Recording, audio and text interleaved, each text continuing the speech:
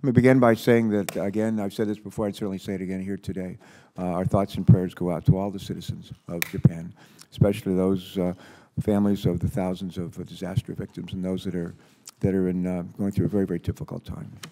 As this uh, tragedy unfolds, I encourage the Nuclear Regulatory Commission and other U.S. agencies to continue to coordinate with the Japanese government to provide any assistance that they need to recover. The events that struck Japan are reminders that we are all vulnerable to unexpected disasters, whether it's an act of nature or a terrorist attack. While we cannot predict uh, when or where the next uh, major disaster will occur, we know that it will occur, and we also know that uh, adequate protection, adequate prepar preparation, and response planning are vital to minimize uh, both the injury and death when it, when it does happen. Today's hearing is one of many I hope that this committee will have to make sure that our nation has prepared for the worst in order to prevent any lives lost from nuclear power in this country. In the United States, we have, as you know, 104 nuclear power plants in some 31 states, which generate approximately a fifth of our nation's total electric consumption. Nuclear power has helped to uh, curb our reliance on dirty fossil fuels and reduce air pollution that damages our health and causes global warming.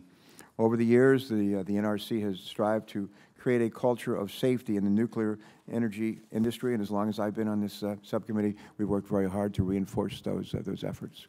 As a result, we have seen, uh, not seen, any direct deaths from nuclear power plant radiation exposure in this country in over uh, 50 years.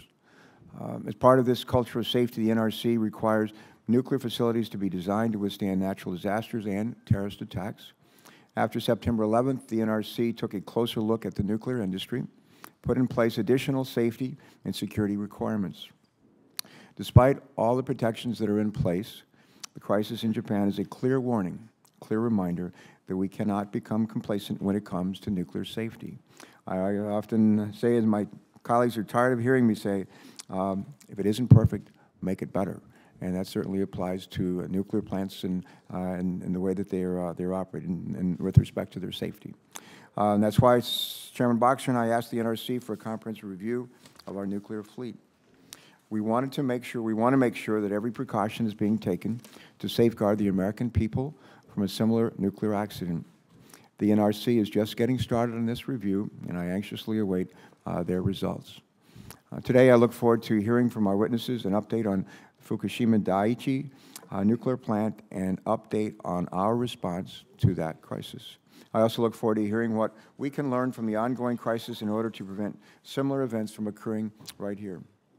I'm particularly interested in hearing about the state of emergency planning process from the Delaware Department of Safety and Homeland Security. Uh, Secretary Schiliro, we welcome him especially. And as chairman of the Subcommittee on Nuclear Safety, I take seriously my responsibilities, our responsibilities, to make certain that we are taking the appropriate measures to make the nuclear industry as safe as they can possibly be. And as I've said uh, before, while I'm a proponent of clean energy, my top priority of our domestic power uh, and uh, nuclear uh, power industry remains public safety.